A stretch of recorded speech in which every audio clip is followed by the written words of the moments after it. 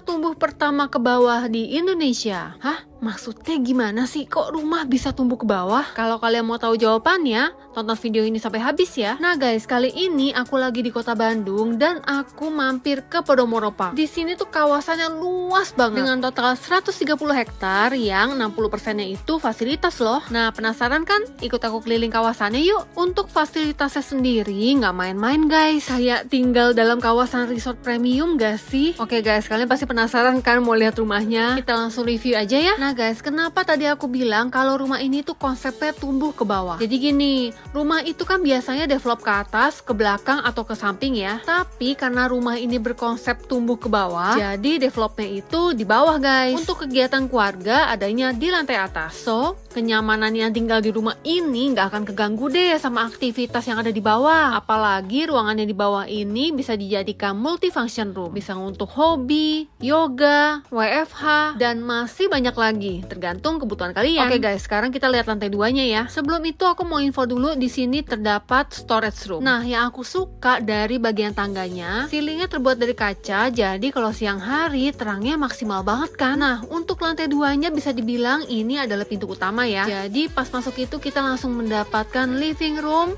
dan ruangan yang tanpa sekat. Jadi lega banget kan guys. Dan agar lebih praktis, kitchen dan dining areanya bisa kalian desain seperti ini ya. Oke, sekarang kita ngintip kamarnya yuk. Nah, untuk kamar anak juga lega banget dan tepat di sampingnya adalah kamar utama. Pokoknya guys, rumah ini tuh cocok banget untuk keluarga muda karena desainnya bener-bener kompak banget. Kalau misalkan mau tambah kamar lagi, gampang guys, tinggal renov aja yang di lantai bawah. Praktis banget gak sih? Nah guys, ini untuk kamar mandinya ya. Sekarang kita lanjut lihat fasilitas kawasannya yuk. Selain kolam renang, di sini juga ada playground, private cinema, kids pool, basketball dan football court, indoor lounge, jogging track, dan masih banyak lagi. Oh iya, di sini juga ada kawasan komersial loh. Yang pasti McDonald udah ada di sini guys. Lokasinya juga strategis banget. Menuju pintu tol Buah Batu Bandung hanya 5-8 menit aja. Yang penasaran? Buruan datang ke Podomoro Park Bandung yuk. Podomoro Park Bandung, one stop living, one stop shopping.